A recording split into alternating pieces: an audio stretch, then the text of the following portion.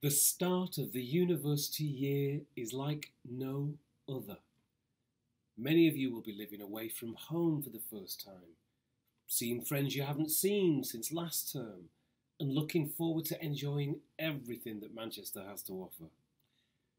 The last few months have been tough on everyone, and your time at university is precious. But COVID, it isn't over yet. You need to do your bit. This year, please make sure you take care of one another and those in the community that you live in. That means you need to hang out in your house or halls and only with people who live in your household. It's the same rule for your garden, too.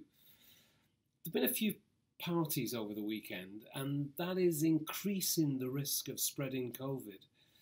It also means that the police have had to spend time dealing with students when their resources are already stretched.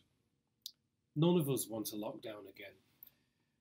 And I really want you to be able to stay in Manchester and enjoy yourself to the fullest while not getting COVID. Please do your bit and only socialise with people in your household as people you share and kitchen and or bathroom with. Won't be forever. We're going to get through this.